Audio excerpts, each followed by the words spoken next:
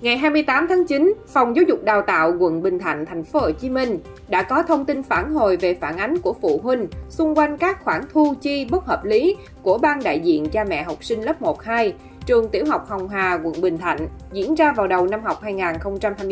2023-2024. Trong đó các khoản thu chi của ban đại diện cha mẹ học sinh đã được công khai trên nhóm trao đổi chung của phụ huynh do bà Nguyễn Thị Thúy Quyên, thủ quỹ ban đại diện cha mẹ học sinh lớp 1-2 tổng hợp. Cụ thể, tổng số tiền hội lớp đã thu là 313 triệu 300 ngàn đồng, trong đó 31 trên 32 học sinh đóng góp. Tổng số tiền hội lớp đã chi là 260 triệu 328 ngàn 500 đồng. Như vậy, sau gần một tháng triển khai các hoạt động, quỹ lớp chỉ còn 52 triệu 971 ngàn 500 đồng.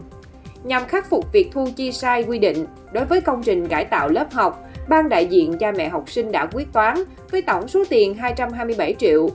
030 ngàn đồng. Tuy nhiên, do quy trình vận động thu chi không đúng quy định, nên ban đại diện cha mẹ học sinh lớp 1-2 sẽ hoàn trả số tiền này cho phụ huynh của lớp. Đối với các khoản chi hỗ trợ hoạt động văn nghệ, làm rèm thay đồ cho học sinh, thuê người bưng bê và dọn dẹp ăn trưa trước cửa lớp, hỗ trợ giáo viên, tiền hòa mạng Internet, chi phí mua lồng đèn và thuê trang phục chị Hằng, chú Cụi, ban đại diện cha mẹ học sinh thừa nhận đều là các khoản chi sai quy định nên sẽ hoàn trả lại tiền cho phụ huynh.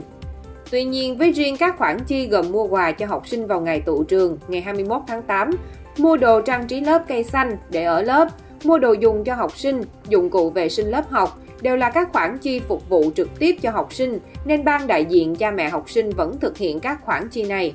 Riêng đối với sự việc tại lớp 1-2 trường tiểu học Hồng Hà, Phòng Giáo dục Đào tạo quận Bình Thạnh chỉ đạo nhà trường tiếp tục theo dõi và giám sát việc thực hiện hoàn trả tiền thu, chi, sai quy định và báo cáo kịp thời về Phòng Giáo dục Đào tạo. Cùng với đó, nhà trường phải tổ chức phê bình đối với bà Huỳnh Thị Ngọc Thủy, giáo viên chủ nhiệm lớp 1-2 về các sai phạm nói trên.